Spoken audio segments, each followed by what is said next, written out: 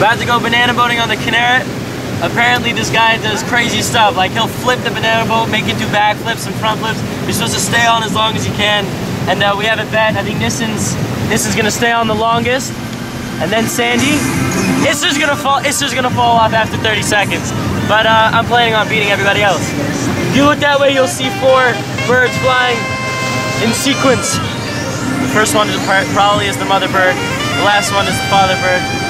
Mother in the front, father in the back to make sure that, just like in Sdei Chemed, we always have a counselor first and a counselor in back to make sure that we're all safe. We all have an amazing summer, nobody gets hurt. Town over there is Tverio.